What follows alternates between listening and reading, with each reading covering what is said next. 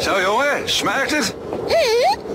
Boterham met pindakaas zeker, hè? Ja, ze zeggen dat je sterk van wordt van pindakaas. Dan wil jij vast wel boer worden, hè? En schaatsen. Eet allemaal lekker door me, jong.